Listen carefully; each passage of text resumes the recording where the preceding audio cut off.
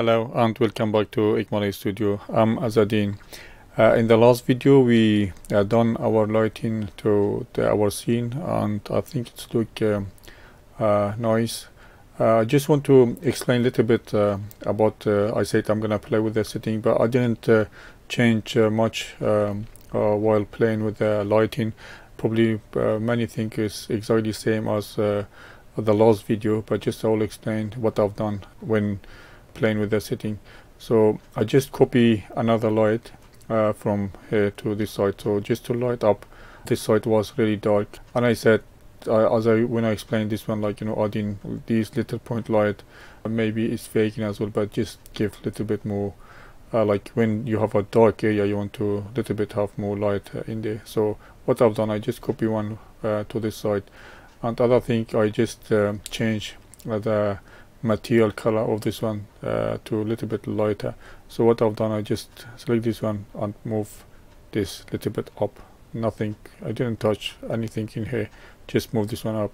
And as I said uh, you should play you know with uh, your material color and lighting because everything's uh, uh, linked together to make your scenes uh, look um, nice. And I'm gonna show you the setting I'm using for my lights so you can stop your uh, stop the video and copy uh, if you want. So I did change this one I think a little bit higher. So it was 4000 I did uh, to 400 and these are the setting um, I'm using for my light. Maybe yours gonna be different. And the other light which is just like an ambient light from this side. So I have I think it's same. I didn't uh, touch it. But we do have shadow on this one because we don't want have shadow in both way. Our moon uh, light is coming from this side so if there is a shadow it's going to be just uh, this direction. Um, uh, the other thing uh, I didn't uh, touch anything else uh, I may check this one. If I change this number I believe it was um, 400 I may reduce it down to 200 this is um, our volt which is just ambient light by uh, the image. So uh, I think that's all I have done. And uh, you should be good to go. Um, I'm gonna but there's a lot of option. You can still play if you want to make your uh, light um, I mean a little bit different than mine. Uh, because for example if I select this one like just by distance you can make things different. For example now if I remove this one it's just lighting everywhere all the way around. But if you want just like you know in the area because this is like a full meter your light distance which is going to uh, if you do this I believe this is more like um, I want uh, to have because further away uh, it shouldn't have much light. We want to uh, focus on this area which is uh, the the interesting point. We don't want to light up much you know at the back but because it's moonlight uh, so that's why we still need to have a little bit of light uh, around there as well. If you don't like uh, to have uh, uh, like mine to don't have moonlight you just reduce this number down. Um, it should if for example I'm just gonna change it to 100 or 1000 sorry. So if you prefer like this your night um, that's all. I'm just change this one too. So it's all about um, how you like uh, your scene to look like. So just change this one to uh, 1000 or less or 500 something like that. Um, you should be good to go. Like this. Maybe you prefer something like this. Uh, uh so it's all about uh, uh, what you want like you know your environment look like. But I'm gonna change this one to uh, 300 because I want to have more light in my scene. Uh, maybe you don't want uh, that so that's up to you. But uh, this is just explaining there's a lot of option you can play with and make your scene uh, to the way you're liking. So I'm gonna keep it like this because um, as I said I'm gonna do a camera in this video but I like to have some stars at the background but I think I'm gonna do in the next video because I want uh, I, I, said I'm gonna talk about the camera so I'm gonna do the camera movement uh, and then we're gonna do that uh, stars uh, at the background and see from there.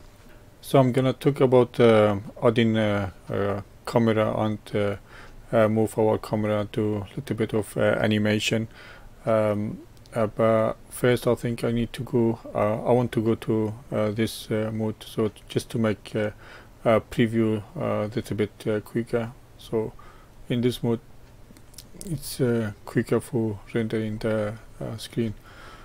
So we have uh, one camera in our scene if you remember. We a long time in other videos just to see our scene composition and I'm gonna delete this one so we're gonna start from beginning. This is your timeline. So to animate your camera and by adding camera you just um, uh, hold down uh, shift sorry.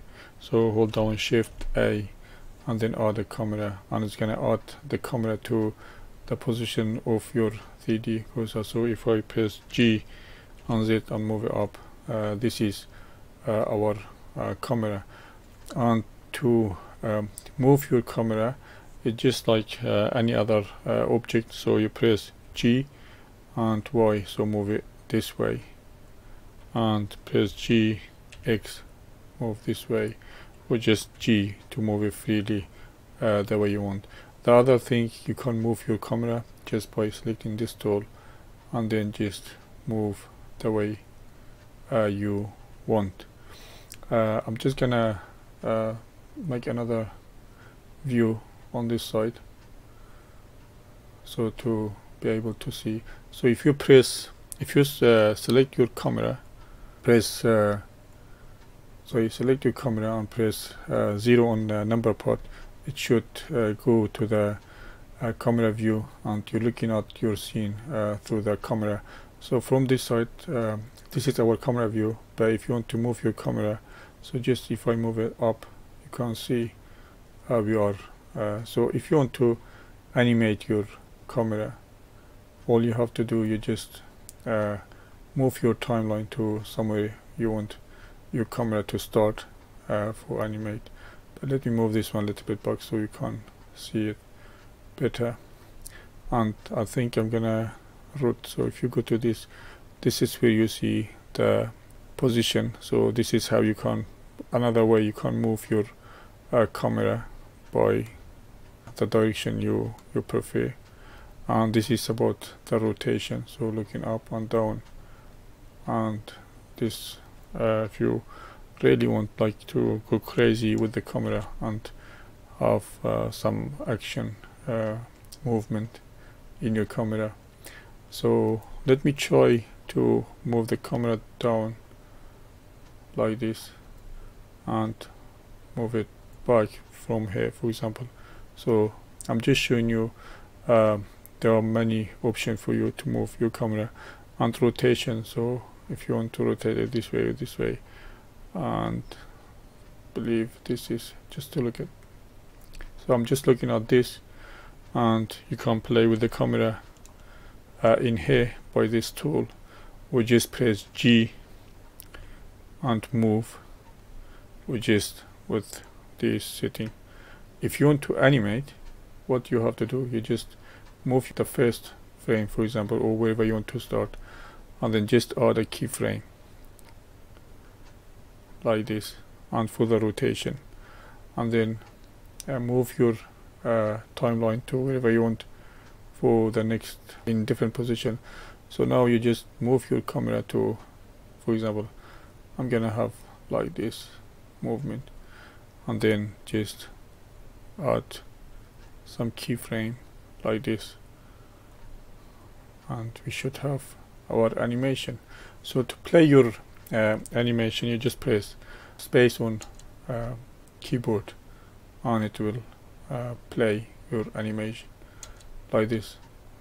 And if you look at the movement of the camera it's slow at the beginning and then faster and then slow down. So because we have um, is in automatically I think it's been added to our keyframe. So if you want your movement to be same from beginning to the end you just select both keyframe right click and then uh, enter uh, mode and then just make it line. It should fix the problem. I mean if you don't want that if you want that happen like you know to ease in ease out that's up to you. So now our camera is moving. Like this. Okay.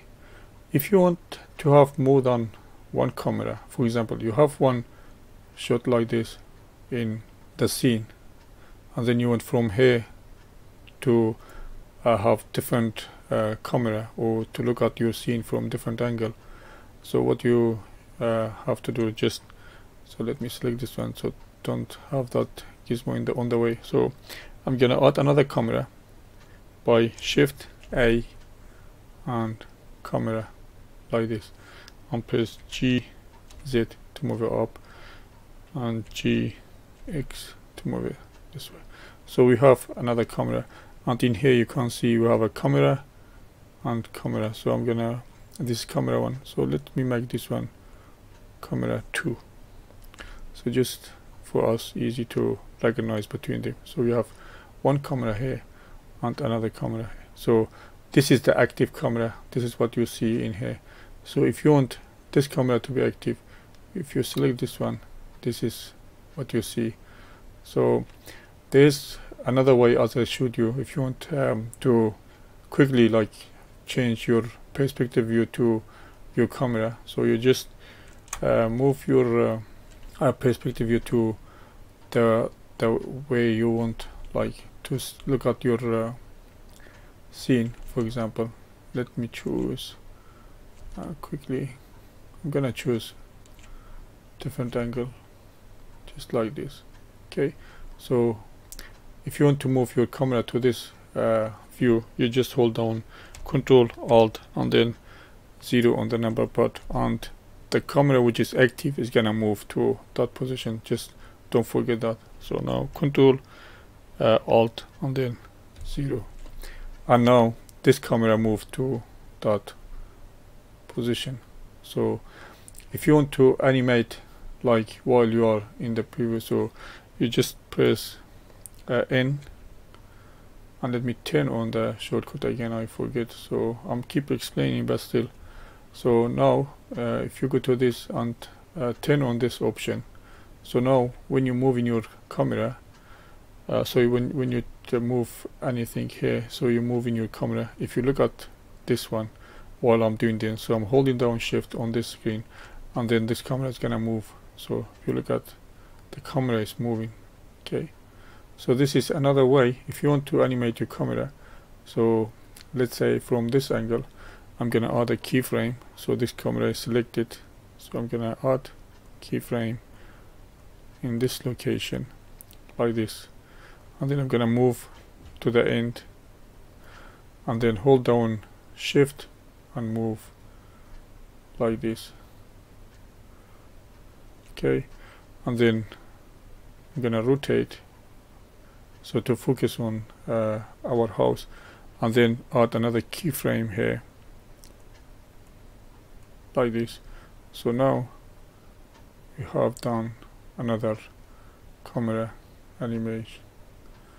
But if you want to see your first camera in this area and then when you pause this to jump to next camera uh, there is a way you can do. So what you have to do you select your you make your first camera active like this. So look at this. This is our first camera. Move it to the first frame. And keep your mouse on this area on the timeline and then hold down control B. And if you see we add our first camera here. So this is the camera we added to this.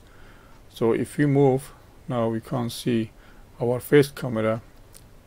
And then when it's moving from here we want to see the other camera. So if you move to this position and then make my second camera active like this and I want to move it to the just where the camera start. So from here I want my second camera to start. So uh, select this camera make it active and move your mouse to uh, on the timeline and then control B and now you have a camera 2 so now from here to here we will have a camera 1 and then from here to the end we will see camera 2 so now from here if you look at here we're looking at this camera it's moving. So look this is what this camera is seeing now. And when we pass that point it should jump to this camera. So this is our jump from here to this point. So this is how you can add a multiple camera to your scene and then render your animation. So I, don't want this video to get really long. So you know how to animate your camera. There's a lot of option. Uh, there's other way you can add a curve and uh, use other as a path for your camera to to animate as well. I'm not gonna explain that uh, in this video because I believe this is enough for you to make uh, some camera movement for your scene and I'm gonna end up uh, this video from here and I'm gonna create some camera movement for our scene. And uh, maybe next video I'm gonna add a little bit stars in the background because I don't want to have just black you know at the background. And if there is possibility maybe you're gonna add uh, moon to our scene as well. So I believe uh, uh, you should be okay to animate your camera and just quickly before finishing this so if you want to render your uh, scene so you've done your uh, camera movement you're happy with everything so you're going to this uh, property here.